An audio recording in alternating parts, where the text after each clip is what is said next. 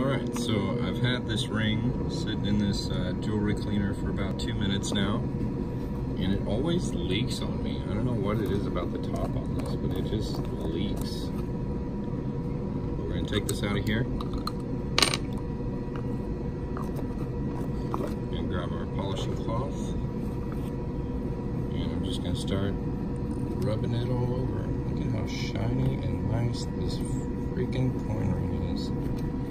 I cannot believe I made this. And if you guys made it this far in the video, man, I appreciate you sharing this journey with me.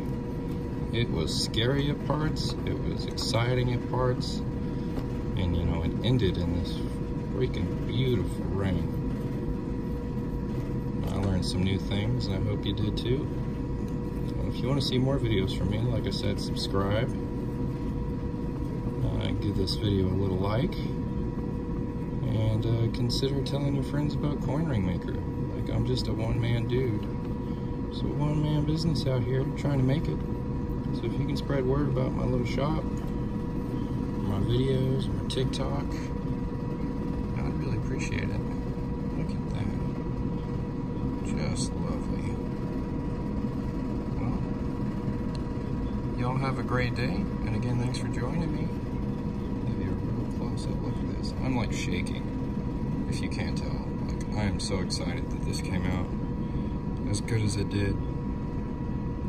It's really, it's really something. And you still got the date on there, the 1983. It's, it's a really cool ring. I'm gonna be sad to let it go. Um, but I definitely think the person who gets this is going to, uh, going to appreciate the work that went into it.